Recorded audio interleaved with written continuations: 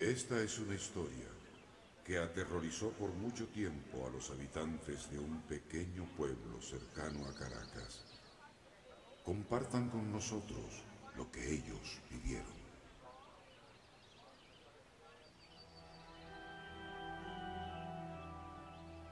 En el nombre del Padre y del Hijo y del Espíritu Santo, permiso a mi Dios Todopoderoso, San Benedito, para que te dé permiso a ti, tú me des tu permiso, ayúdame. Tengo muchos años que no voy a mi pueblo, mi pueblo querido.